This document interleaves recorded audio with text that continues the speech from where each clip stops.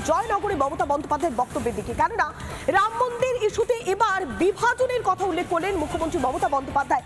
তিনি বলছেন, রাম মন্দিরকে কেন্দ্র করে কোথাও গিয়ে বিভাজনের রাজনীতি হচ্ছে এমনটাই অভিযোগ করলেন জয়নগরের সভা থেকে মুখ্যমন্ত্রী মমতা বন্দ্যোপাধ্যায়। বিভাজনের রাজনীতির অভিযোগ তুলছেন জয়নগরের সভা থেকে। মানুষের আবেগকে অপমান করা হচ্ছে। মমতা এই প্রশ্ন তুলেছেন। রাম মন্দিরে ফের বিভাজনের রাজনীতির অভিযোগ মুখ্যমন্ত্রীর ভোটের আগে। রাম মন্দির চমক, বাংলায় কোনোদিন বিভেদ হবে না। জয়নগরের সভায় মন্তব্য করলেন মুখ্যমন্ত্রী মমতা বন্দ্যোপাধ্যায়।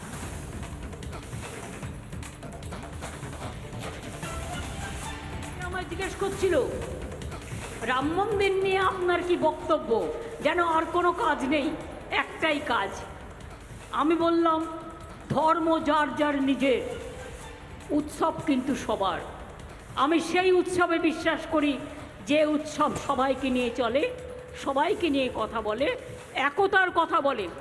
আপনারা করছেন করুন না, কে আপত্তি করেছে? আপনারা কোর্টের আন্ডারে করছেন, ইলেকশনের আগে একটা গিমিক শো করবেন বলে। আমার কোনো আপত্তি নেই তো? কিন্তু তাই বলে অন্য সম্প্রদায়ের মানুষকে অবহেলা করা, এটা কারও কাজ নয়। তৃণমূল কংগ্রেস যতদিন থাকবে, তৃণমূল কংগ্রেসের সরকার যতদিন থাকবে আমি আপনাদের কাছে ওয়াদা করে যাচ্ছি। আমি আপনাদের কাছে শপথ করে যাচ্ছি। আমি আপনাদের ঈশ্বরের শপথ করে বলছি, আল্লাহর কসম খেয়ে বলছি, মনে রাখবেন, আমি কোনো দিনও হিন্দু, মুসলমান, শিখ, খ্রিস্টান তপশিলি আদিবাসীদের ভাগাভাগি করতে দেব না। মুখ্যমন্ত্রী স্পষ্ট বলছেন যে ধর্ম যার যার উৎসব সবার। যদি উৎসব সবারই হয়, তাহলে রাম মন্দিরের উদ্বোধন, রামলালার প্রাণ প্রতিষ্ঠা, সেখানে সমস্যা কোথায়? মানুষের আবেগকে কি অপমান করছেন মমতা? রাম মন্দির নির্মাণে কেন খুশি নন মমতা বন্দ্যোপাধ্যায়? সে প্রশ্নটাও করছে বিরোধীরা। রাম মন্দির নিয়ে ফের বিভাজনের রাজনীতির অভিযোগ তুলেন জয়নগরের সভা থেকে মুখ্যমন্ত্রী মমতা বন্দ্যোপাধ্যায়। তিনি কি বলছেন যে ভোটের আগে রাম মন্দিরটা চমক? এমনটাই কোট আনকোট রা- ভোটের আগে রাম মন্দির চমক, এই অভিযোগটাই করছেন মুখ্যমন্ত্রী মমতা বন্দ্যোপাধ্যায়। তবে বাংলায় কোনো দিন বিভেদ হবে না। বাংলার মানুষ একাত্ম থাকে, বাংলার মানুষ বিভিন্ন উৎসবে এক হয়ে থাকে। তাই বাংলার মানুষের মধ্যে কোনো রকম কোনো দিন বিভেদ হবে না। জয়নগরের সভা থেকে সরাসরি চ্যালেঞ্জ করছেন মমতা বন্দ্যোপাধ্যায়। রাম মন্দির নিয়ে ফের বিভাজনের রাজনীতির অভিযোগ তিনি তুলছেন। আর এই মুহূর্তে গোটা বিশ্বের নজর রয়েছে কোথায়? না অযোধ্যার দিকে। বাইশে জানুয়ারি রাম লালার প্রাণ প্রতিষ্ঠা। দূর দূরান্ত থেকে প্রচুর মানুষ আসবেন, প্রচুর অতিথিদের আমন্ত্রণ জানানো হয়েছে এবং রামলালার প্রাণ প্রতিষ্ঠার জন্য দীর্ঘ পাঁচশো বছরের অপেক্ষা। সেই অপেক্ষার প্রহর গুনছে গোটা অযোধ্যা, গোটা দেশ, গোটা বিশ্ব। আর সেই রাম মন্দিরের উদ্বোধনী এবার বিভাজনের রাজনীতির অভিযোগ করছেন কে? না, বাংলার মুখ্যমন্ত্রী মমতা বন্দ্যোপাধ্যায়। জয়নগরের সভা থেকে স্পষ্ট তিনি অভিযোগ করছেন, ভোটের আগে রাম মন্দির চমক বাংলায় কোনো দিন বিভেদ হবে না। জয়নগরের সভা থেকে এমনটাই মন্তব্য করলেন মুখ্যমন্ত্রী মমতা বন্দ্যোপাধ্যায়। তাই এখানেই প্রশ্ন। মানুষের আবেগকে কি অপমান করছেন না মমতা বন্দ্যোপাধ্যায়? কেননা বর্তমানে ত্রেতা যুগের অযোধ্যায় পৌঁছে গিয়েছেন সেখানকার মানুষজন। দীর্ঘ পাঁচশো বছর আধ বছর নয়, পাঁচশো বছরের অপেক্ষা। রাম লালার প্রাণ প্রতিষ্ঠা।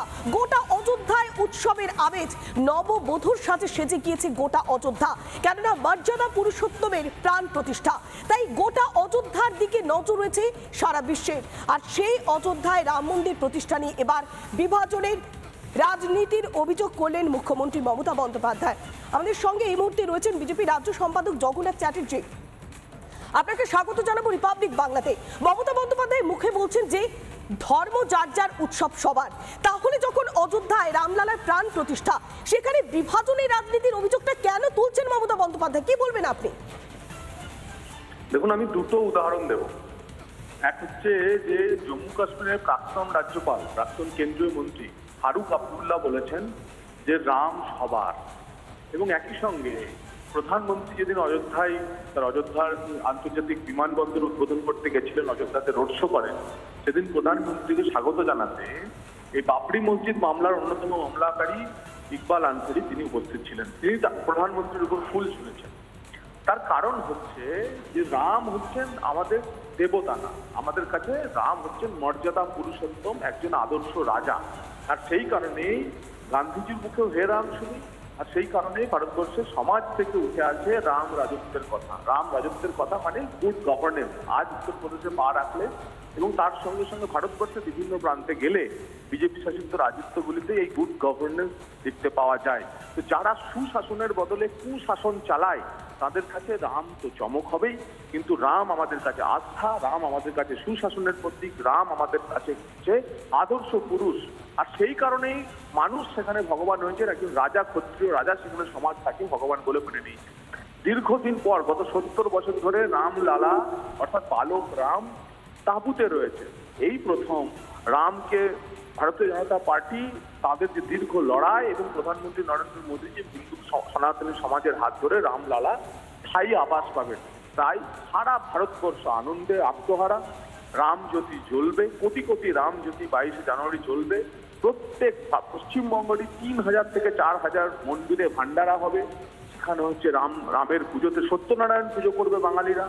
আর তখন তো অন্যরা বলবে, কারণ তাদের কাছে রাম চমক, কিন্তু জবনের ভোটই হচ্ছে ধ্যেয় জবনের ভোটই হচ্ছে লক্ষ্য। তাই যারা জবনের ভোট প্রেমী লোকসভা ভোট আসছে জবনের ভোট চায়, তারা রামের নামে অপকথা বলবে, তাতে কিচ্ছু এসে যাবে না। সনাতনী সমাজে তৈরি হয়ে থাকছে।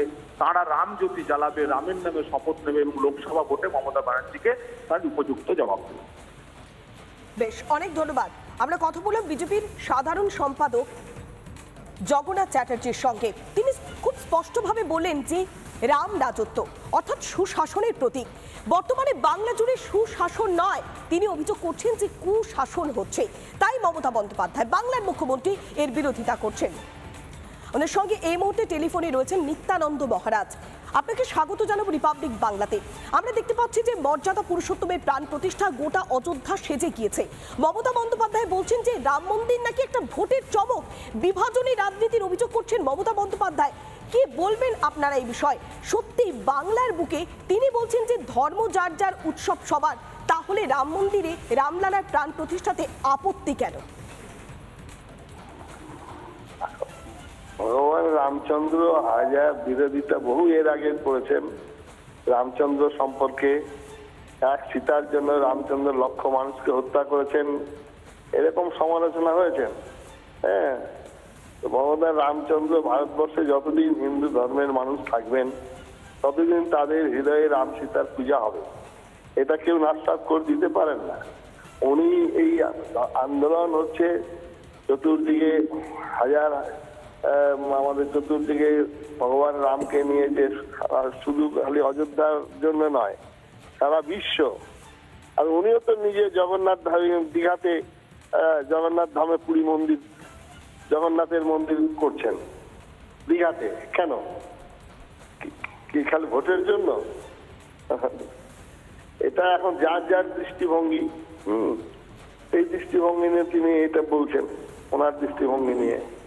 কিন্তু সাধারণ মানুষ ভারতবর্ষে, তারা ভগবান রাম তাদের হৃদয় পূজা হচ্ছে এবং ভগবান রামের মন্দিরে তারা উদ্বেলিত হয়েছে সারা দেশ, সারা পৃথিবী। আগামী বাইশ তারিখে তার উদ্বোধন হবে। ঠিক আছে? অনেক ধন্যবাদ। আমরা কথা বললাম প্রদীপ্তানন্দজি মহারাজের সঙ্গে।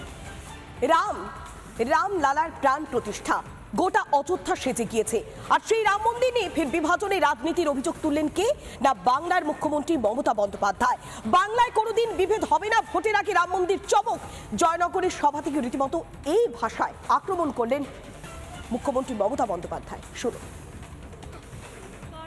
কালকে আমায় জিজ্ঞেস করছিল, রাম মন্দির নিয়ে আপনার কি বক্তব্য? যেন আর কোনো কাজ নেই, একটাই কাজ। আমি বললাম ধর্ম যার যার নিজের, উৎসব কিন্তু সবার। আমি সেই উৎসবে বিশ্বাস করি, যে উৎসব সবাইকে নিয়ে চলে, সবাইকে নিয়ে কথা বলে, একতার কথা বলে। আপনারা করছেন করুন না, কে আপত্তি করেছে? আপনারা কোর্টের আন্ডারে করছেন, ইলেকশনের আগে একটা গিমিক শো করবেন বলে। আমার কোনো আপত্তি নেই তো? কিন্তু তাই বলে অন্য সম্প্রদায়ের মানুষকে অবহেলা করা, এটা কারও কাজ নয়।